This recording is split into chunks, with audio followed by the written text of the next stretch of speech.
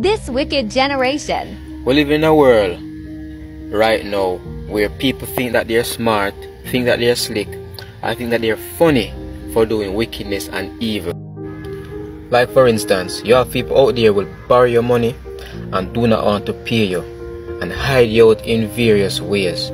Tell you lies about certain things and then behind your back they laugh with their friends, laugh with their colleagues, and laugh even to themselves, thinking that they're taking you for an idiot and, and, and thinking that it's funny and thinking that they're being smart with you. Psalms 37 verse 21 said, The wicked borrow and do not repay. You're not funny, you're not smart, you're not slick, you're actually a wicked you take people things and do not want to repay them. But in this world, this type of behavior is glorified. People laugh about these things of people being unfair to people, of people doing wickedness to people.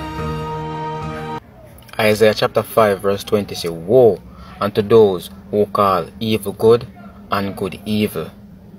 You think you're being smart, you think you're slick, you actually think you're funny, but you're wicked, and woe unto you thinking that these things are good. Your time is coming if you don't change and repent.